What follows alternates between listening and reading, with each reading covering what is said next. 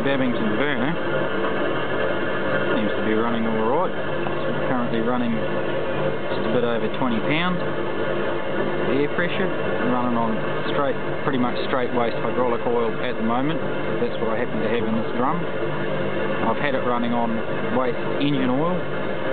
Um, you got to cut that with about 5% diesel, but it runs like that alright. If you run on straight engine oil, because I'm only heating the oil to 90 degrees maximum before it, before it runs over the ball, it um, doesn't get hot enough and she smokes a little bit. Just puts a faint trace of smoke out the top, which is just enough to be irritating.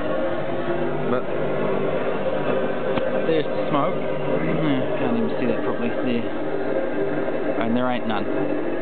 She's running clear, which is what I wanted. There's the circulator pump through my nice plumbing system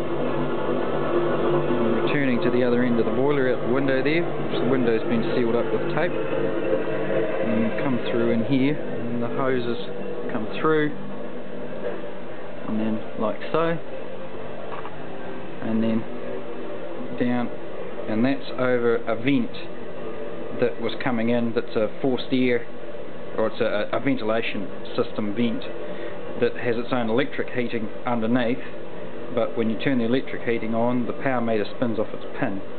So I sort of wanted to get away from that. Hence why I built the waste oil burner. I obviously can't show you the burner head itself but because um, it's sort of under fire at the moment hopefully I'll get some more pictures a bit later on of it um, running of it, of it when it's not running